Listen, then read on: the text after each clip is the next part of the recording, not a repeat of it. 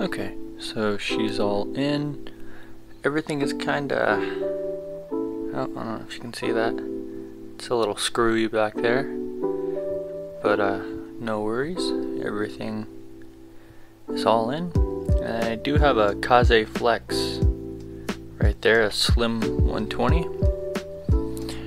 The uh, this is actually the main reason why I got this Wonder Snail is uh, I really do like this Kaze Flex fan. I've got about three of these, so we'll see how this guy does. Okay, so I've got my metrics up in the upper right hand corner, and I've had the computer running for about I want to say 10 minutes now. Uh, it's sitting at 58 degrees Celsius.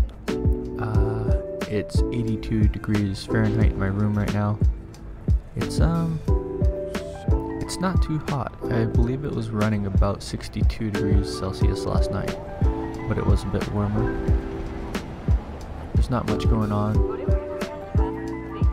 and the fan is pretty, pretty loud right now. Okay, all right. So 58 degrees didn't change. Uh, it did definitely ramp up. Okay, so we are already sitting like three degrees. Ooh, oh wait. So 55 degrees.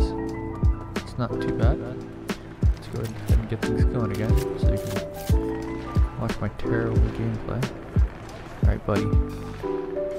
Uh.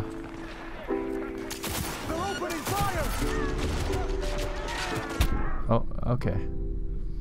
That didn't last very long.